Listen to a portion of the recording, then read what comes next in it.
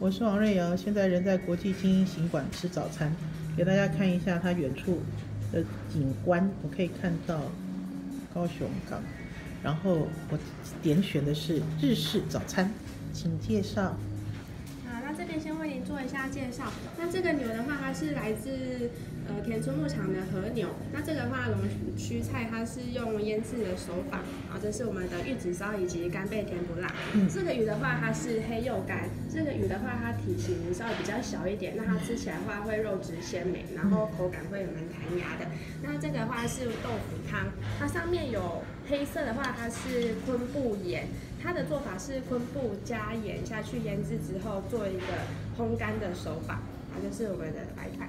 所以刚才讲说，这个田村牧场其实就是五凯，日本非常有名的一个餐饮集团，也是在高雄精英国际行馆里面成立餐厅的五凯，他们特别为台湾养的牛，对不对？是。好，给大家看一下景观。除了景观之外，我想带大家看一下，其实它的早餐是半自助式。然后呢，一开始你如果看到它的半自助式，你会很吃惊。吃惊的原因是因为呢，它的半自助式很简单。简单到你会觉得说啊，这个是全高雄最顶级的饭店的自助早餐吗？我先稍微扫一下给大家看，这是面包对不对？这是沙拉跟水果，这样就结束喽。有没有很吃惊？怎么会那么少？怎么会那么少？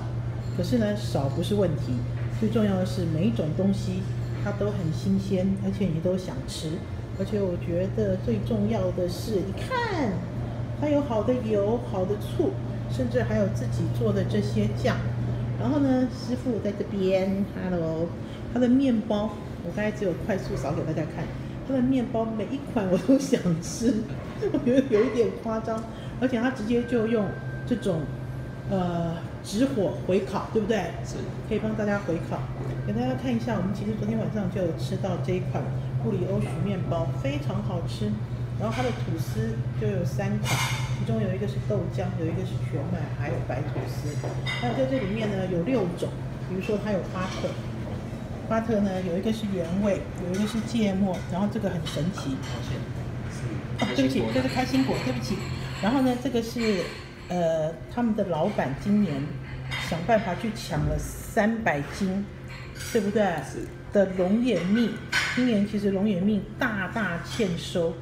这个呢，就是在高雄精英国际行馆的早餐，不要太吃惊哦。